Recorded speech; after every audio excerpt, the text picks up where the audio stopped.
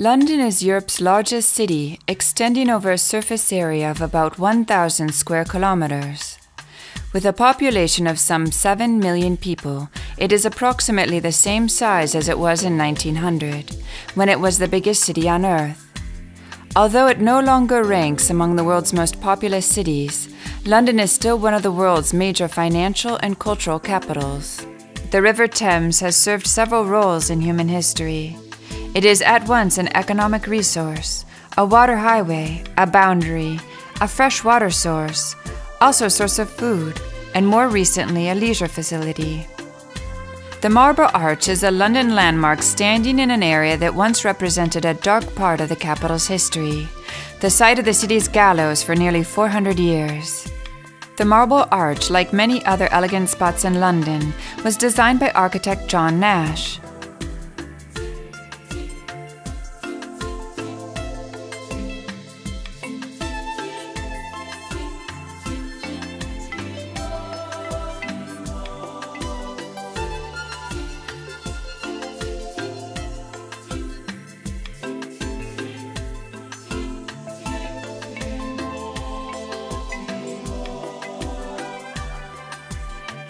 In the heart of central London's busiest shopping district lies Oxford Street, which runs from Marble Arch to St Giles Circus, crossing Tottenham Court Road and Charing Cross Road on the way.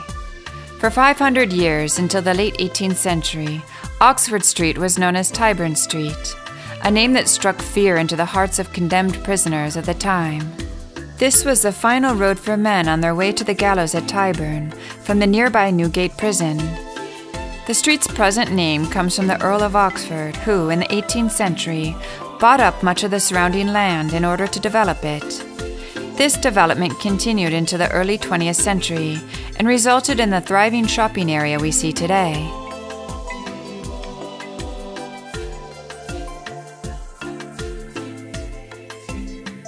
Regent Street was originally part of the Middlesex Forest, a royal hunting ground. The Prince Regent, later George IV, commissioned the architect John Nash to create a park here in 1817. The architect's original concept was to establish an urban ideal with 56 villas in the neoclassical style and a pleasure palace for the Prince Regent. But only eight villas and no palace were constructed inside the park, while three of the villas have survived along the edge of the inner circle. Regent Street is one of the best known shopping areas not just in London, but in all of Great Britain. In fact, it is far more than a shopping area, as it borders the heart of London nightlife, theatre district, and tourist heart of London. The section between Piccadilly Circus and South the Pall Mall is called Lower Regent Street. North of Piccadilly Circus, up to Langham Place, is the main Regent Street, with the vast majority of shops and amenities.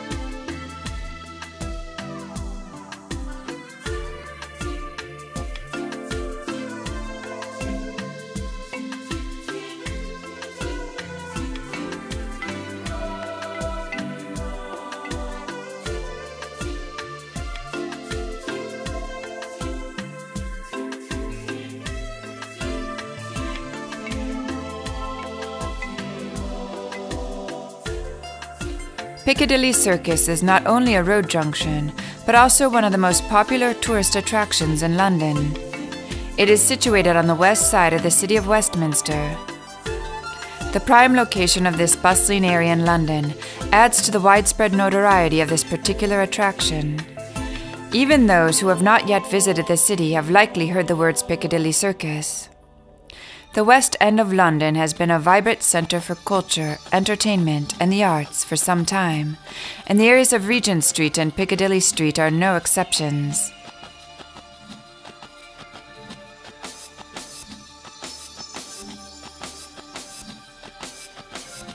The name Piccadilly originates from a 17th century frilled collar called a pickadill, since Roger Baker, a tailor who became rich making pickadills, lived in the area. The word circus refers to the roundabout around which traffic circulates.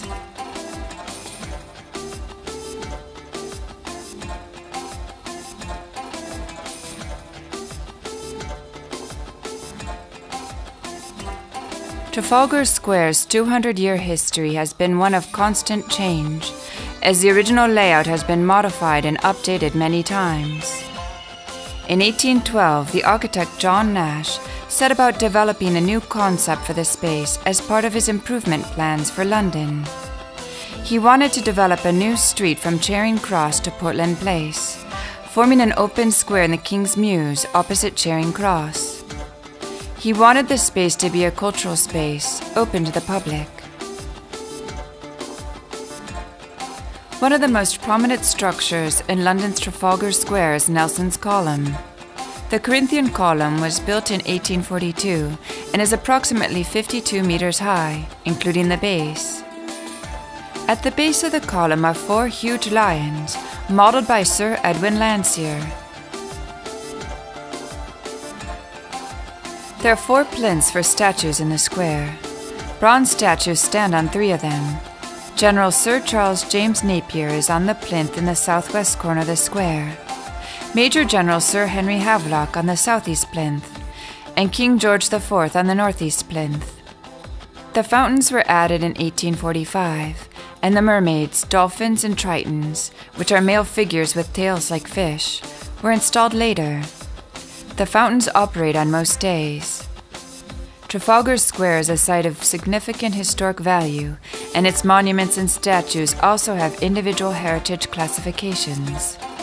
The Strand was originally just a little muddy track in London that ran east along the Thames. But by the early 16th century, the well to do had settled in and built mansions down to the bank.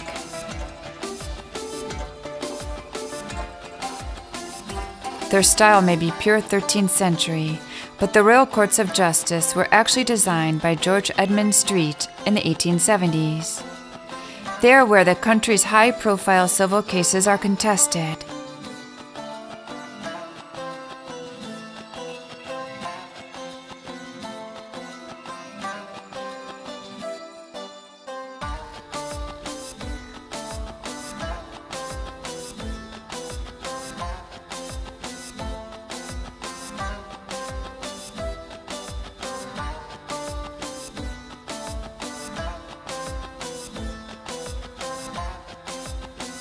The majestic St. Paul's Cathedral was built by Christopher Wren between 1675 and 1711. St. Paul's Cathedral is so much a part of the English character and heritage, and such a symbol of the City of London, that extraordinary efforts were taken to save it during the Blitz bombings of World War II. The impressive facade at the west side of the church consists of a large portico and pediment. A relief on the tympanum depicting the conversion of Paul dates from 1706. The portico is flanked by two towers, which weren't part of the original plan. Wren added them at the last minute in 1707. The dome reaches a height of 111 meters and weighs about 66,000 tons. Eight arches support the dome,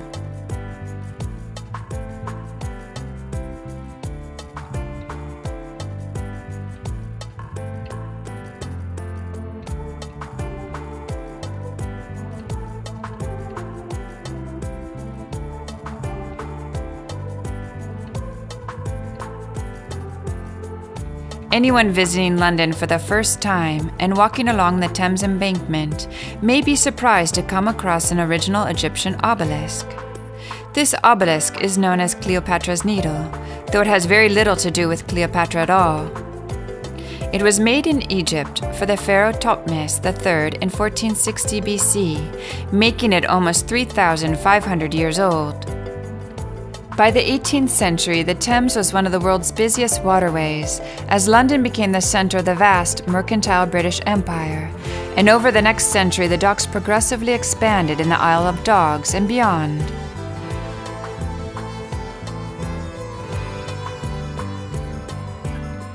The London Eye, sometimes referred to as the Millennium Wheel, offers patrons one of the best views of the City of London. The London Eye Millennium Wheel has quickly become a popular tourist attraction in London, with about 2 million visitors per year.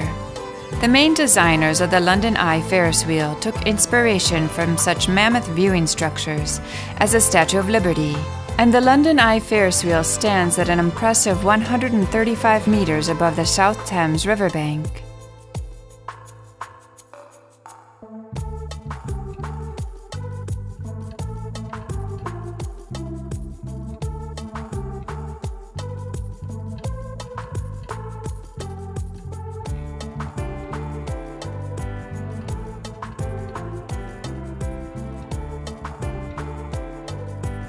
Palace of Westminster, or the Houses of Parliament as it is also known, has changed dramatically over the course of nearly a thousand years of history. Transformed from a royal residence to the home of a modern democracy, the Palace of Westminster is one of the most recognized buildings in the world. Now part of a UNESCO World Heritage Site, the palace contains a fascinating mixture of both ancient and modern buildings as well as an iconic collection of furnishings, archives, and works of art. Westminster Palace, rebuilt from the year 1840 on the site of important medieval ruins, is a fine example of neo Gothic architecture. The site, which also comprises the small medieval church of St. Margaret, built in the perpendicular Gothic style, and Westminster Abbey, where all the sovereigns since the 11th century have been crowned, is of great historic and symbolic significance. Westminster Palace is the place where the two Houses of Parliament, the House of Lords and the House of Commons, meet to conduct their business. The present day Palace of Westminster is built in the perpendicular Gothic style, which was popular during the 15th century and was responsible for the Gothic revival of the 19th century. In 1835, a royal commission was appointed to study the rebuilding of the palace. The neoclassical style, similar to that of the White House in the United States, was popular at that time. However, as the design was associated with revolution and republicanism, the Commission announced in June 1835 that the style of the building should be either the more conservative Gothic or Elizabethan styles. In 1836, the commissioners organized a public competition to design a new palace. The winning entry was submitted by Charles Barry, who had proposed a Gothic styled palace in harmony with the surviving buildings. The design and layout of the building were thus carefully designed to serve the needs and workings of Parliament. Barry was also careful to weld the old to the new, so that the surviving medieval buildings, Westminster Hall, the cloisters and chapter house of St. Stephen's, and the Undercroft Chapel formed an integral part of the whole. At the northeastern end of the palace is the most famous of its towers, the 96 meter tall clock tower, more commonly known as Big Ben after its main bell. The tower also houses a large four faced clock designed by Augustus Pugin. The Great Clock of Westminster was first started in 1859. It has become a national symbol and is renowned the world over for its accuracy, which is always to within one second. Above the clock faces is the belfry, where the great bell and the four quarter bells hang. Together, the quarter bells ring the Westminster chimes, a tune based on Handel's Messiah.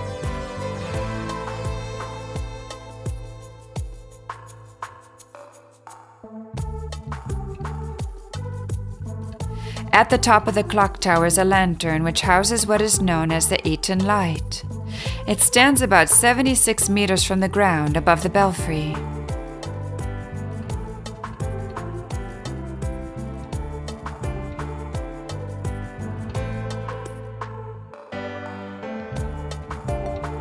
Big Ben rang out triumphantly to announce the end of the First World War as people celebrated in the streets.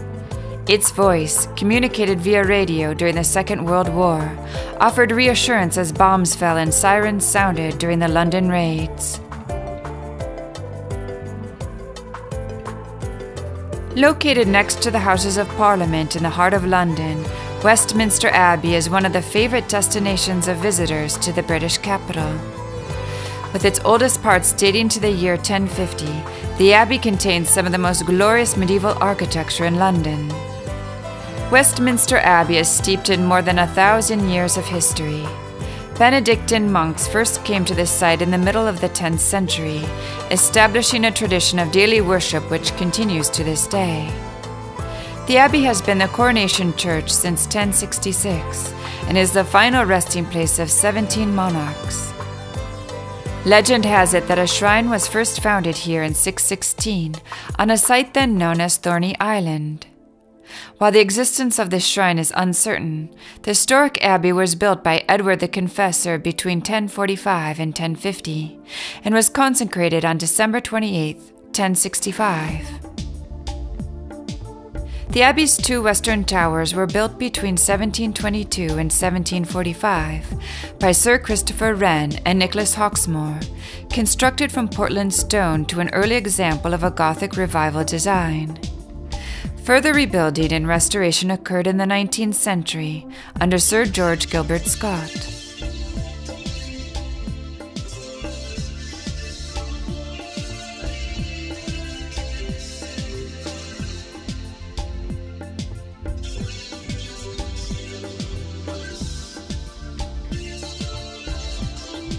Westminster Abbey has always enjoyed close links with the monarchy, not least in its unbroken role as a coronation church since 1066.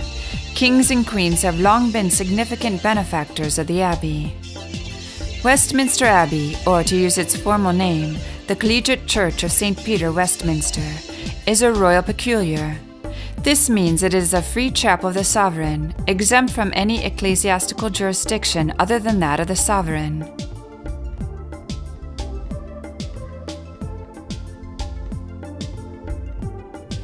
The most recent part of the abbey is the north entrance, completed in the 19th century. Until the 19th century, Westminster was the third seat of learning in England, after Oxford and Cambridge. It was here that the first third of the King James Bible Old Testament and the last half of the New Testament were translated.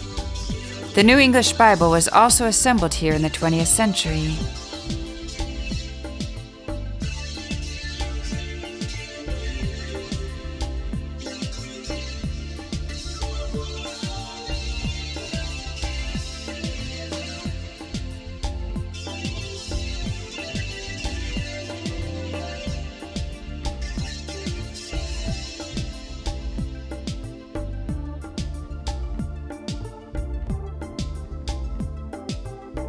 The cloister was built in the 13th century, though it was completely rebuilt after it was destroyed by fire in 1298. The cloister was used by the Benedictine monks for meditation and exercise. The monks at Westminster Abbey wore the black habit of the Order of St. Benedict, meaning that they took a vow of obedience, celibacy, and poverty. The simple celebration of the daily services in praise of God was their first duty, and work and reading took up the rest of their time. At a time when very few people, even kings, could write, monasteries were the main source of learning. The cloister was the center of monastic life, where the monks spent most of their time when not at prayer or taking part in the daily services. The monks worked in the north cloister, where they were sheltered from cold winds and got most of the sun. In the south cloister was the entrance to the refectory. In the east cloister, the community met each day in the chapter house to have a chapter of the rule of St. Benedict read to them, and to have any punishments meted out.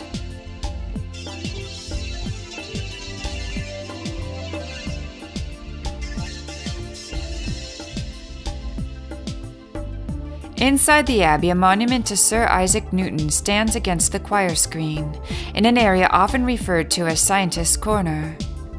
Among the famous people buried in the nave are Charles Darwin, David Livingstone, Sir Charles Barry, Thomas Telford, and Clement Attlee.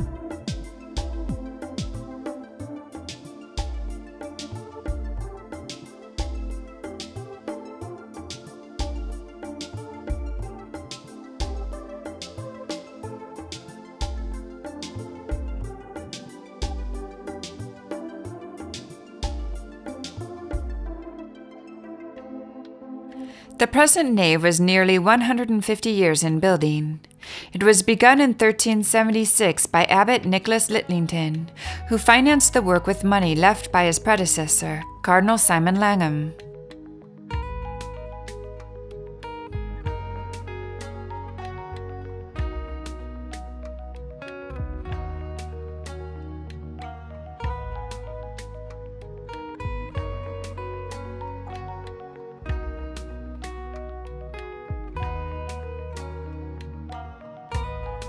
The stained glass in the west window dates from 1735.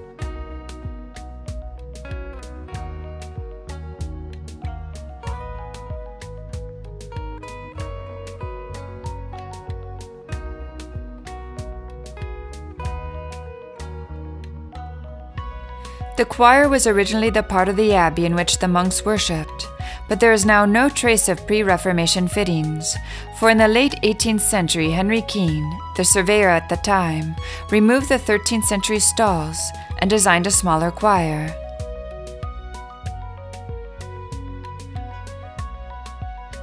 In the north transept are the graves of Charles James Fox, William Gladstone, and Lord Palmerston, as well as other memorials.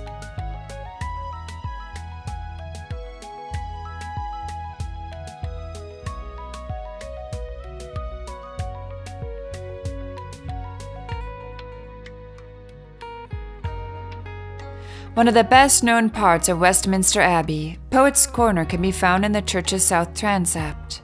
It was not originally designated as a burial place of writers, playwrights, and poets.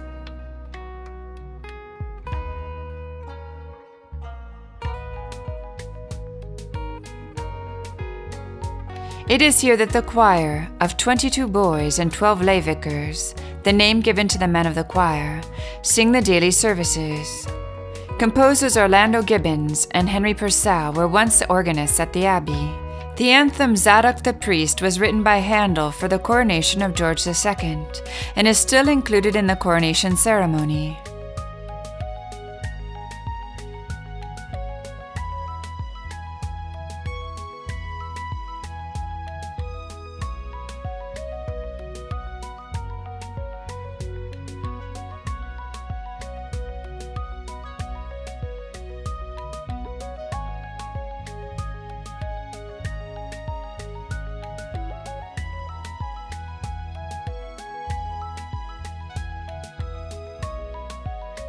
Westminster Abbey is also famous for its funerals.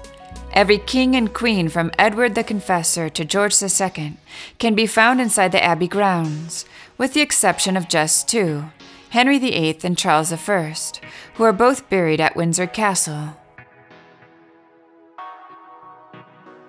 The sanctuary is the heart of the abbey, where the high altar stands. The altar and reredos above it were designed by Sir George Gilbert Scott in 1867.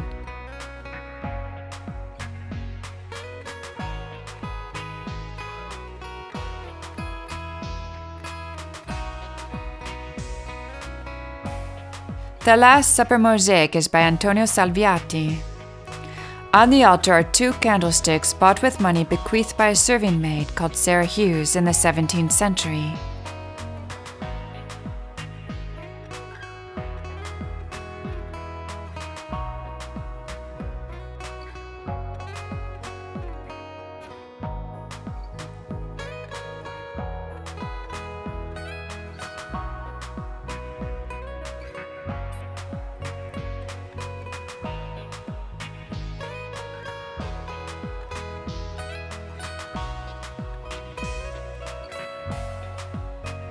The Lady Chapel was begun in 1503 and constructed at the expense of Henry VII.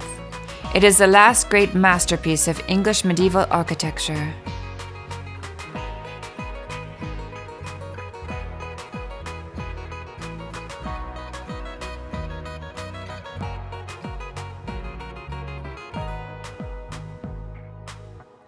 Behind the altar is the black marble sarcophagus of Henry VII and his wife Elizabeth of York their gilded effigies modeled from their death masks.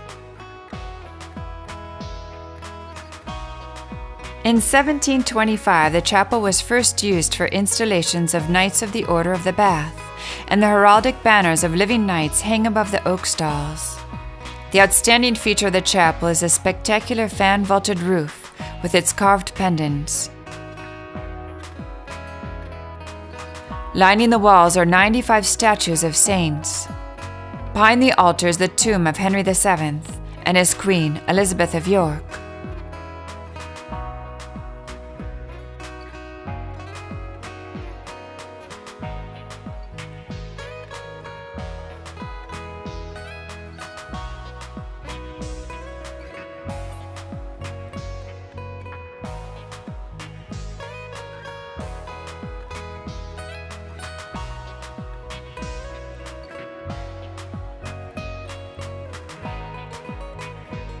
A treasure house of paintings, stained glass, pavements, textiles, and other artifacts, Westminster Abbey is also the place where some of the most significant people in the nation's history are buried or commemorated. Taken as a whole, the tombs and memorials comprise the most significant single collection of monumental sculpture anywhere in the United Kingdom.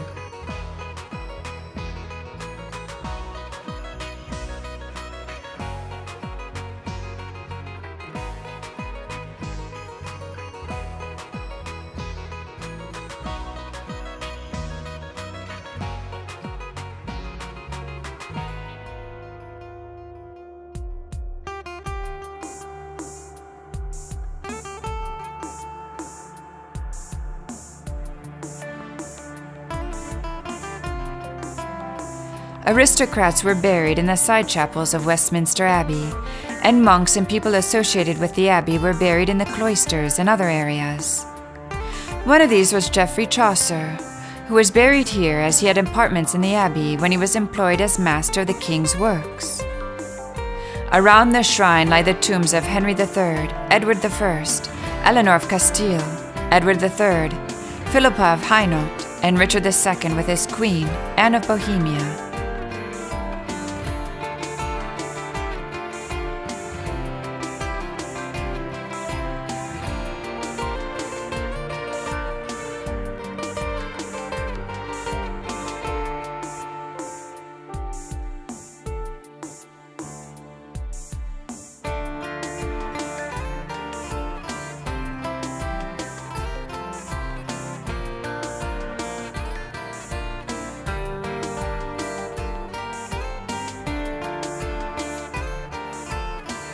The interior is a veritable museum of English history.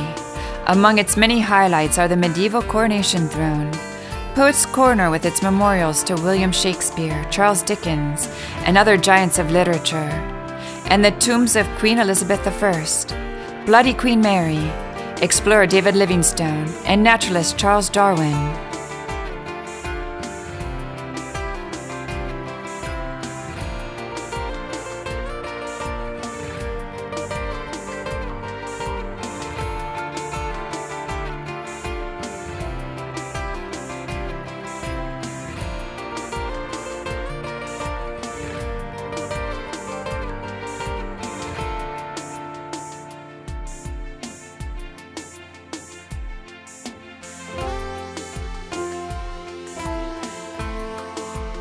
St. Margaret's Church was built in the latter part of the 11th century, although the precise date of its construction is not known. From then until the dissolution of the monasteries by Henry VIII in 1540, ministry to the ever growing population of Westminster was undertaken by the monks of the abbey. This arrangement was the basis for the close relationship between St. Margaret's and Westminster Abbey, which has existed ever since. The monks of the newly founded monastery of St. Peter in Westminster were disturbed by the people who came to hear Mass at the abbey. So they set about building a smaller church next to the abbey, where local people could receive all the sacraments and ministrations of the church, thus leaving the monks in the abbey undisturbed. The church was dedicated to St. Margaret of Antioch.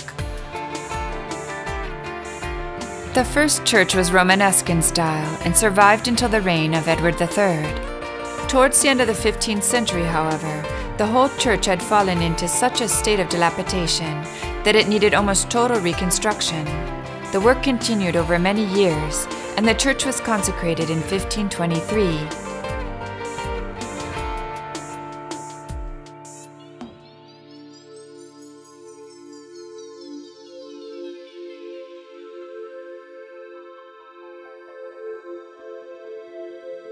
The altar and candlesticks were designed by Peter Foster, surveyor of the fabric, in charge of the restoration of the church from 1984 to 1992.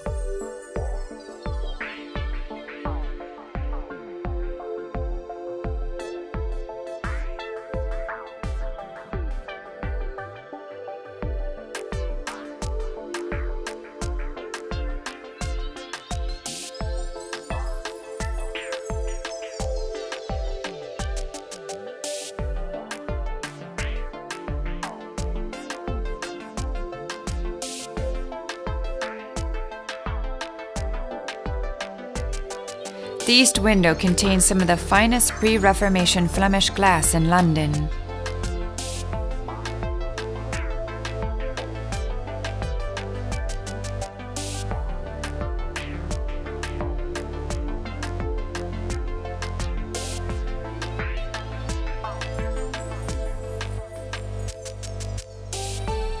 The present organ was installed by J.W. Walker in 1897.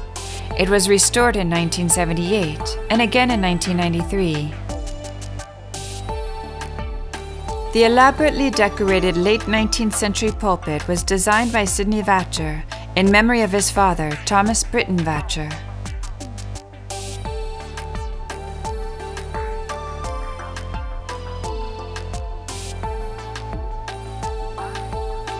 The church is notable particularly for the Flemish stained glass in the east window, presented by Ferdinand and Isabella of Spain on the occasion of the marriage of Prince Arthur, Henry VIII's elder brother, to Catherine of Aragon.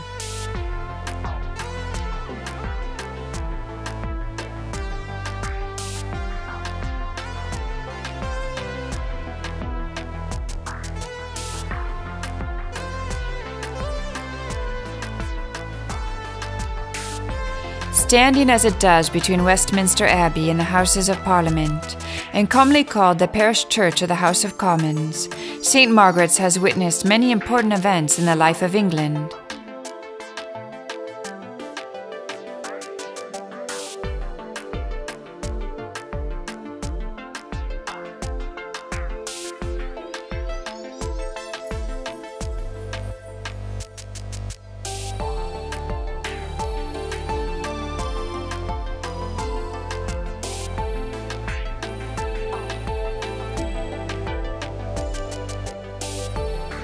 Westminster Palace, Westminster Abbey, and St. Margaret's Church, a site of great historical and symbolic significance, were inscribed on the UNESCO World Heritage List in 1987.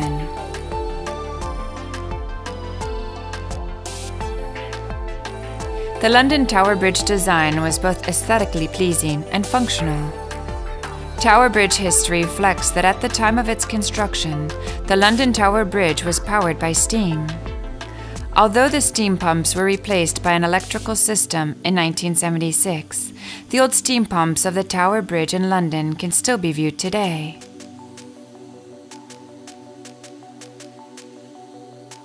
London was founded as a communications center by the Romans shortly after they invaded Britain in 43 AD. Londinium, as it was called then, was a little village on the Thames on the route to the provincial capital in eastern England.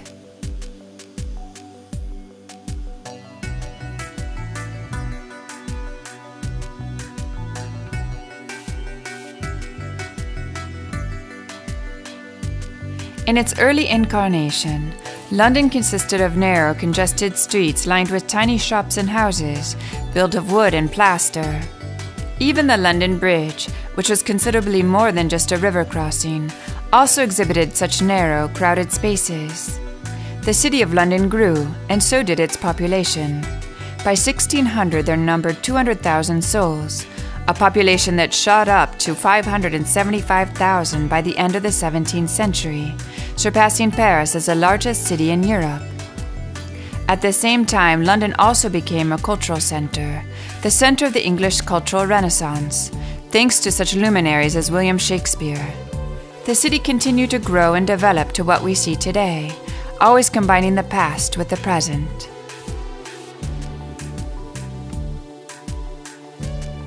Buckingham Palace attraction with a firm place in Buckingham Palace history is the changing of the guard.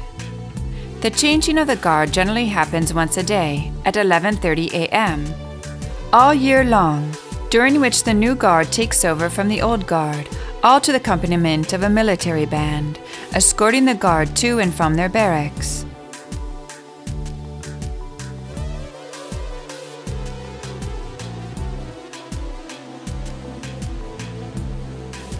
Buckingham Palace is not only the official residence of the Queen. Over the years, this sprawling palace has entertained countless heads of state from around the world, issued official statements during times of war, and as of late has become a major tourist attraction. Visitors of London will surely be impressed by the magnificence of this historical palace, and tourists can be found at any time of day, standing outside Buckingham's gates, awestruck at its size. Apart from the lovely landscaping, Hyde Park also features a number of activities for patrons to enjoy. The grand entrance is itself a sight to see, stretching 32 meters along the central entrance with columns and intricate stonework, creating a majestic entrance to the park itself.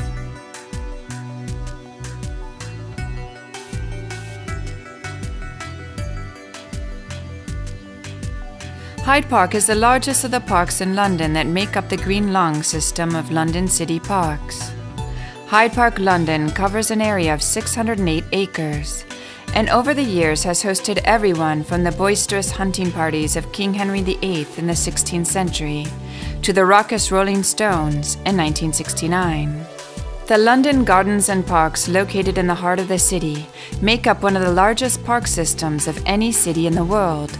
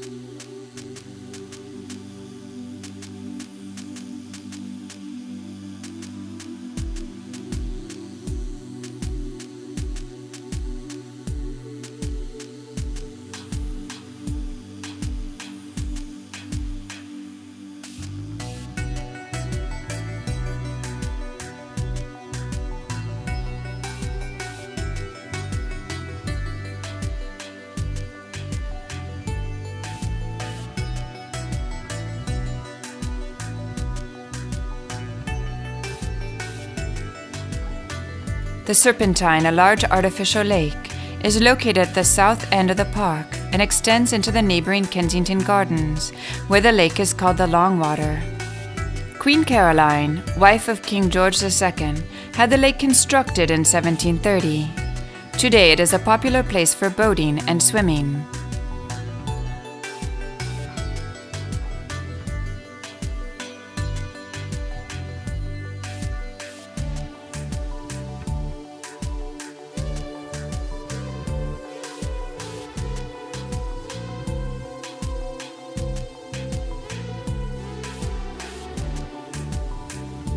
London is divided into many districts, which still seem to function in many ways as separate villages, just as they did in the past, and which have preserved their own characteristic identities.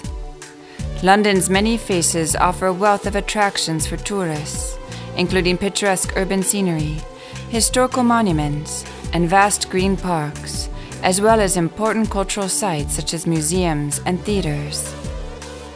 Because of its long history and many centuries as the capital of a vast empire, London has many splendid monuments and places of interest for visitors to explore.